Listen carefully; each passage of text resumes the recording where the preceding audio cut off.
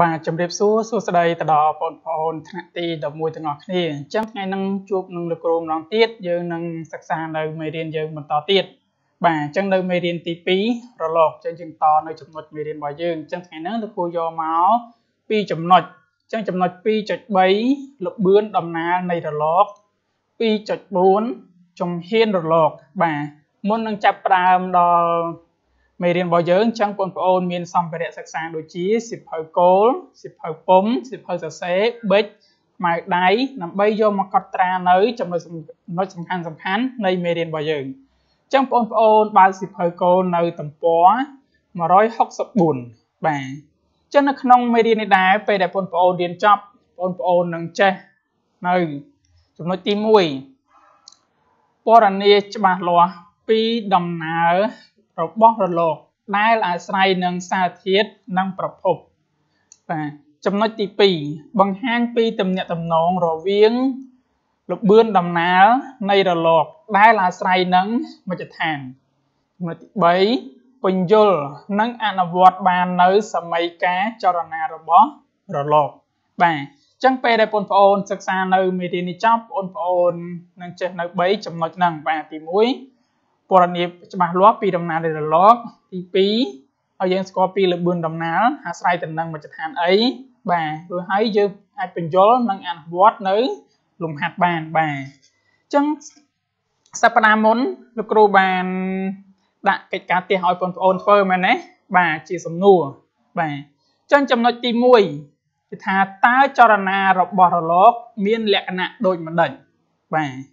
ទី2 តើរលកដែលដើរឆ្លងកាត់មជ្ឈដ្ឋានរុក្ខធាតុរឹងរាវឧស្ម័នជារលកអ្វីតើរលកទឹករលកខ្សែរលកដសររលកសំឡេង និងរលកពន្លឺប្រភេទមួយណាជារលកមេកានិកបាទអញ្ចឹងបងប្អូនបានធ្វើទេបាទអញ្ចឹងបងប្អូនបើកសិភៅមកដើម្បីផ្ទៀងចម្លើយជាមួយនឹងជាមួយនឹងលោកគ្រូទាំងអស់គ្នាបាទអញ្ចឹងយើងមើល កំណែគេកាត់ផ្ទះរបស់យើង នៅសំណួរបាទអញ្ចឹងគេថានេះតើចរណារបស់រលក មានលក្ខណៈដូចម្ដេចបាទអញ្ចឹងចរណារបស់រលក មានលក្ខណៈជាលំលំយោលបាទទី2បាទអញ្ចឹងរលកអីគេរលកដែលដើរឆ្លងកាត់មជ្ឈដ្ឋានរុក្ខធាតុរឹងរាវស្មានជារលកអីគេជារលកមេកាមេកានិកបាទទី3 អញ្ចឹងគេថារលកទឹករលកអីគេរលកខ្សែរលករសើរលកសំឡេងអញ្ចឹងរលកហ្នឹងគឺជារលកអីគេគឺជាប្រភេទរលកមេមេកានិកតែរលកពន្លឺជាប្រភេទរលកមេកានិកអត់បាទអត់ទេរលកពន្លឺរលកពន្លឺគឺជាប្រភេទរលកអេឡិចត្រូម៉ាញ៉េម៉ាញ៉េទិកបាទអញ្ចឹងកិច្ចការផ្ទះត្រូវបានបញ្ចប់អញ្ចឹងយើងទៅមើលចំណុចបន្តទៀតតកតនឹងរំលឹកមេរៀនបាទអញ្ចឹងបងប្អូន មានចាំនៅមេរៀននេះបាទថានេះតើរលកមានទម្រង់ប៉ុន្មានប្រភេទអ្វីខ្លះសាកឆ្លើយមកបងប្អូនបាទអញ្ចឹងរលកមានពីរប្រភេទមិនអញ្ចឹងទេបាទមានទម្រង់ពីរប្រភេទគឺជារលកមេកានិកនិងរលកអេឡិចត្រូម៉ាញ៉េម៉ាញ៉េទិកបាទហើយមួយទៀតតើចលនារំយោលរបស់ក្មេងយល់តោងជាចលនាអ្វីបាទ បងប្អូនពីនៅក្មេងៗប្រកាសជាធ្លាប់ជិះតោងមិនអញ្ចឹងទេបាទអញ្ចឹងលក្ខណៈបងអូនជិះតោងយល់ទៅយល់មកហ្នឹងអាហ្នឹងគេហៅជាចលនាគេបាទគឺជាចលនាចលនាខួបបាទអញ្ចឹងគេថាចលនាលំយោលរបស់ក្មេងយល់តោងជាចលនាចលនាខួបបាទអញ្ចឹងបងប្អូនត្រូវចាំហើយនឹងយល់នៅអត្ថន័យនៃមេរៀនរបស់យើងបាទអញ្ចឹងយើងទៅចូលទៅដល់ខ្លឹមសារនៃមេរៀនរបស់យើងបាទ ចឹងមេរៀនទី2របស់យើងចឹងយើងតនៅចំណុចរបស់យើង2.3របឿនដំណើរនៃនៃរលកបាទអីទៅរបឿនដំណើរនៃរលកបាទចឹងបងប្អូនមានដែលអឺតកតនរលករបស់យើងចឹងរលកថាមកពលរលកតកតនរលករបស់យើងដំណើរនៃរលកអញ្ចឹងតកតនរលករបស់យើងដាលអញ្ចឹងវាដាលពីទីតាំងមួយទៅទីតាំងមួយមិនអញ្ចឹងទេបាទអញ្ចឹងតកតនរបឿនដំណើររលកយើងទៅមើលដល់ខ្លឹមសារនៃមេរៀនរបស់យើង គេថានេះក្នុងពេលរលកដាលកាត់មជ្ឈដ្ឋានរុក្ខធាតុណាមួយរំជួយគ្មានជញ្ជូនសារធាតុនៃមជ្ឈដ្ឋាននេះទៅបានឡើយអញ្ចឹងកន្លែងហ្នឹងមានន័យថាគេគេគេថានៅពេលរលករបស់យើងដើរឆ្លងកាត់មជ្ឈដ្ឋានរុក្ខធាតុណាមួយអញ្ចឹងកន្លែងហ្នឹងវាអាចអីគេអាចទៅរំជួយប៉ុន្តែវាអាចដឹកជញ្ជូនវាអាចជញ្ជូនសារធាតុដែលនៅក្នុងមជ្ឈដ្ឋានហ្នឹងទៅបានទេហេតុអីបងគ្រូថាអញ្ចឹង ឧទាហរណ៍ដូចជារលកខ្យល់រលកសំឡេងអញ្ចឹងរលកខ្យល់យើងនិយាយទៅឬក៏ខ្យល់រលកខ្យល់ទៅប៉ះនឹងដើមឈើអញ្ចឹងវាអាចជញ្ជូនដើមឈើហ្នឹងទៅបានទេហ្នឹងនឹងអីគេអាហ្នឹងគឺជាសារធាតុរបស់វាអញ្ចឹងសារធាតុដើមឈើដល់តែរលកហ្នឹងលក្ខណៈរលកហ្នឹងខ្លាំងឬក៏កម្លាំងណាមួយអញ្ចឹងវាអាចទៅបានទៅមកថារលកឃើញយើងឃើញលក្ខណៈរលកតិចតិចឃើញលក្ខឈើរបស់យើងបក់តិចតិចអាហ្នឹងវាអាចជញ្ជូនសារធាតុហ្នឹងទៅបានទេបាទ មួយទៀតគេថាដំណើរនៃរលកតែងតែបាត់បង់ធម៌ពលខ្លះហើយចលនារបស់វាថយចុះរហូតដល់នៅនៅស្ងៀមបាទហេតុអីបានកន្លែងហ្នឹងគេថាដំណើរនៃរលកតែងតែបាត់បង់ធម៌ពលហេតុអីបាទចឹងរលករបស់យើងកាលណាវាឧទាហរណ៍រលកសំឡេងរលកខ្យល់ចឹងរលកសំឡេងចុះរលកសំឡេងកន្លែងនៃយើងនិយាយនេះវាលឺខ្លាំងមិនចឹងណាបាទរហូតដល់វាទៅឆ្ងាយទៅវាបាត់បង់ធម៌ពលទៅធម៌ពលទៅបាទរហូតដល់តែវាគេ លែងលឺចឹងទៅបាទហ្នឹងមកគេថារហូតដល់វាថយចុះនៅនៅស្ងៀមបាទចាំមួយទៀតតកតនៃគេលបឿនដំណើរនៃរលកបាទលបឿនដំណើរនៃរលកនៅក្នុងមជ្ឈដ្ឋានមួយมันអាស្រ័យទៅនឹងអំផ្លូតុតនៃលំញ័រទទឹងមានចលនាត្រង់ស្មើបាទអញ្ចឹងមានន័យថាតកតនឹងលបឿនដំណើរនៃរលកនៅក្នុងមជ្ឈដ្ឋានមួយហ្នឹងវាអត់អាស្រ័យទៅនឹងអំផ្លូតុតទេបាទ ចឹងវាអាស្រ័យទៅនឹងអីគេអាស្រ័យទៅនឹងវាតកតទៅនឹងចលនាចលនាបរលកចឹងចលនាបរលកលក្ខណៈជាចលនារបស់វាអឺវាមានលំញ័រទទឹងវាមានចលនាត្រង់ត្រង់ស្មើបាទចាហ្នឹងតកតងនឹងលបឿនដំណើរនៃរលកបាទចឹងគ្រូសរុបមកវិញតកតងនឹងលបឿនដំណើរនៃរលកចឹងលបឿនដំណើរនៃរលកវាមិនអាស្រ័យទៅនឹងអំផ្លូតុទេនៃលំញ័រទទឹងដែលមានចលនាត្រង់ត្រង់ស្មើ ហើយដំណើរនៃរលកទៀតវាតែងតែបាត់បង់ធម៌ធម្មពលបាទរហូតទៅដល់អីគេវាថយចុះរហូតទៅដល់នៅនៅស្ងៀមនោះបាទអញ្ចឹងយើងទៅមើលចំណុចទី2តកតនឹងជំហានជំហានរលកបាទអីទៅជំហានរលកបាទអញ្ចឹងគេថាជំហានរលកគឺជាចម្ងាយចរដែលរលកដាល់ក្នុងរយៈពេលមួយខ្នាតមួយខួបមិនអញ្ចឹងទេបាទជំហានរលកគឺជាចម្ងាយចរដែលរលកដាល់ក្នុង មួយរយៈពេលមួយខួបបាទមួយរយៈពេលក្នុងមួយខួបហ្នឹងបាទចឹងនេះគឺជាជំហានជំហានរលកបាទអញ្ចឹងក៏ជំហានរលកក៏គេមានរូបមន្តមួយដែរបាទអញ្ចឹងจะបានរូបមន្តជំហានរលកនេះអញ្ចឹងឡាំដាស្មើវេគុណនឹងគុណតេបាទអញ្ចឹងដោយតេ31លើ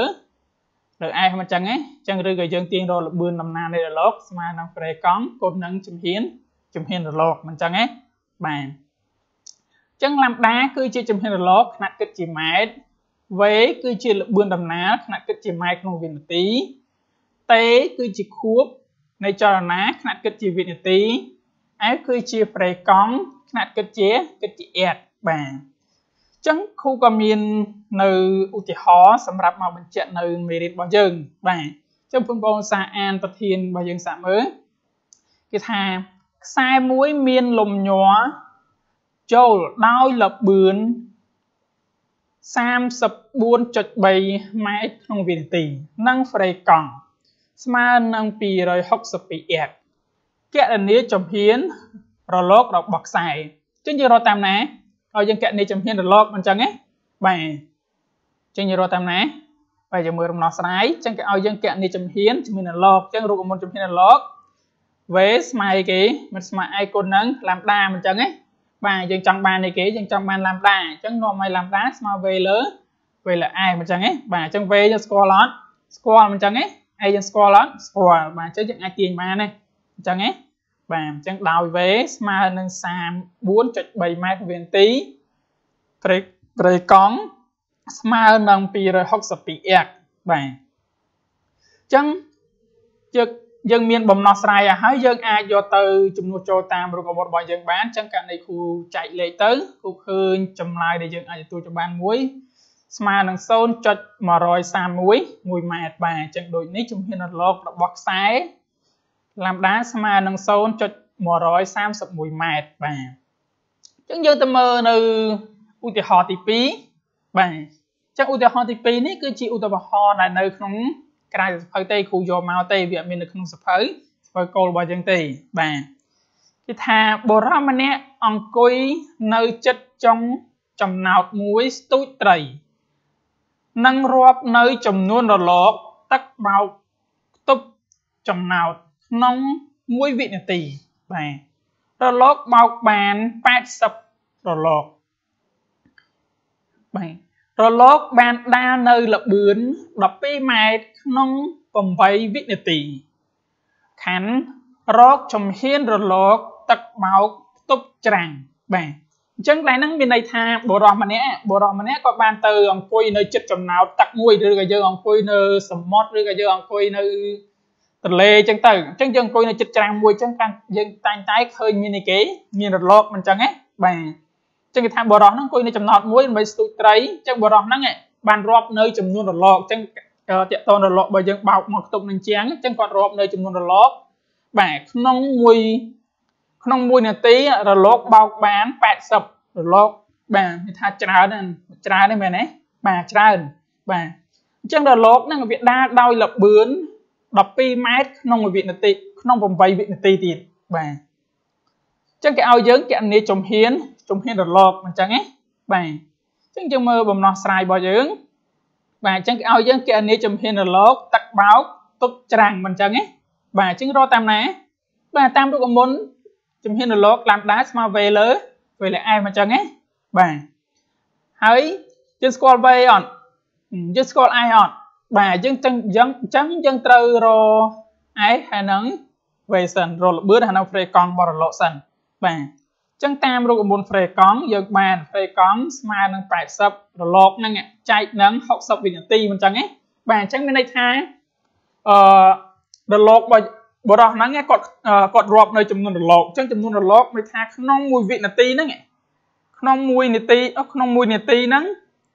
អឺរលករបស់យើងបោកបានប៉ុន្មានបាន80រលកអញ្ចឹងអញ្ចឹងយើងយក80ចែកនឹងវិនាទីទៅយើងឃើញចំនួនប្រេប្រេកង់របស់យើងហ្នឹងបាទអញ្ចឹងឃើញ 1.33 33x បាទបងប្អូនតន់ហើយកន្លែងហ្នឹងណាបាទគូសូមបញ្ជាក់ម្ដងទៀតបាទអញ្ចឹងតកតនឹង80ហ្នឹងគឺជាចំនួនដែលរលកបោកអញ្ចឹងចំនួនដែលរលកបោកអឺទប់ទៅនឹងច្រាំងហ្នឹងក្នុងវិគេក្នុង1នាទីនេះរលកបោកបាន80 80រលកបាទហើយហ្នឹងណាបាទអញ្ចឹងលបឿនបាទអញ្ចឹងលបឿនរលកយើងបានអីគេយើងរលបឿនអញ្ចឹងរលករបស់យើងដែលបានលបឿនមែន 12ម៉ែត្រក្នុងវិនាទីហើយនឹងអីគេ12ម៉ែត្រក្នុង8វិនាទីបាទកន្លែងហ្នឹងអញ្ចឹងយកចែកនេះទៅយើងឃើញល្បឿនរបស់យើងណាបាទឃើញ1.50ម៉ែត្រក្នុងវិនាវិនាទីអញ្ចឹងបើយើងបានបំរាប់ឲ្យហើយយើងទៅចំនួនបំរាប់របស់យើងចូលតាមរូបមន្តរបស់យើងបាទអញ្ចឹងករណីគូចំនួនចូលទៅគូបានចម្លើយដែលយើងអាចទទួលយកបាន1 ស្មើនឹង1.13 13ម៉ែត្របាទអញ្ចឹង1.13ម៉ែត្រនេះគឺជាចំហានរលកដែលរលកទឹកបោកទៅនឹងច្រាំងច្រាំងមិនអញ្ចឹងដែលខ្ទប់ទៅនឹងច្រាំងអញ្ចឹងវាស្មើនឹង1.13ម៉ែត្របាទអញ្ចឹងមេរៀនរបស់យើងក៏ត្រូវបានបញ្ចប់ដែរគ្រូមុននឹងបញ្ចប់គ្រូក៏មានកិច្ចការផ្ទះឲ្យបងប្អូនយកទៅស្រាវជ្រាវបន្តទៀតបាទអញ្ចឹងពេលដែលបងប្អូនធ្វើរួចហើយបងប្អូនថតផ្ញើឲ្យលោកគ្រូតាម Telegram បាទអញ្ចឹងកិច្ចការផ្ទះគ្រូដាក់តែមួយសំណួរទេគេថាដូចម្ដេចដែលហៅថាចំហៀនចំហៀនរលកបាទអញ្ចឹងគ្រូក៏សូមអរគុណដល់បងប្អូនដែលមានការយកចិត្តទុកដាក់នៅក្នុងវីដេអូនេះបាទសូមអរគុណសូមជម្រាបលា